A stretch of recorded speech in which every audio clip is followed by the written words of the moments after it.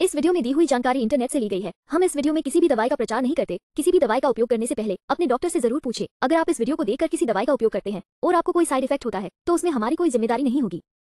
मज़बूत प्रतिरक्षा के लिए Zingavita vitamin C effervescent tablet orange ये तेज़ी से अवशोषित होने वाली गोलियाँ आपकी प्रतिरक्षा प्रणाली का समर्थन करने के लिए आंवला, जस्ता और विटामिन सी और बी पाँच के साथ तैयार की जाती हैं।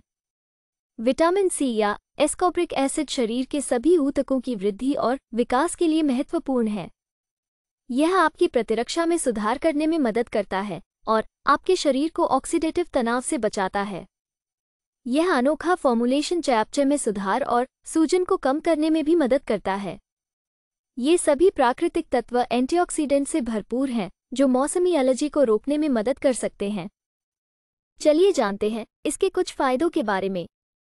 एक ये तेज़ी से अवशोषित होने वाली गोलियाँ आपकी प्रतिरक्षा प्रणाली को समर्थन देने के लिए आंवला, जिंक और विटामिन सी और बी पाँच से तैयार की गई हैं।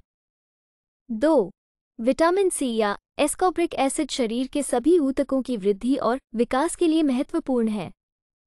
तीन, यह आपकी प्रतिरक्षा में सुधार करने में मदद करता है और आपके शरीर को ऑक्सीडेटिव तनाव से बचाता है। चार यह अनोखा फॉर्मुलेशन चयापचय में सुधार और सूजन को कम करने में भी मदद करता है।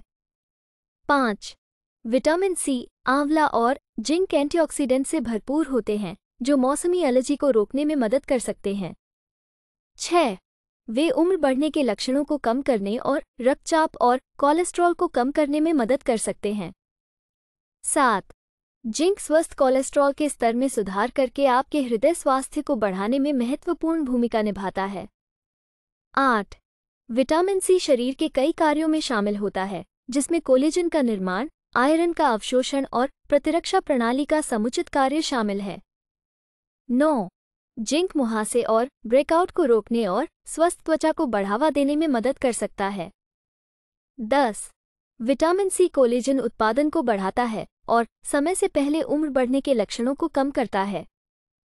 वीडियो को पूरा देखने के लिए धन्यवाद। अगर आपको वीडियो अच्छी लगी हो तो वीडियो को ज़रूर लाइक करें। साथ ही हमारे चैनल को सब्सक्राइब करके नोटिफिकेशन बेल को और नोटिफिकेशन पर सेट करें।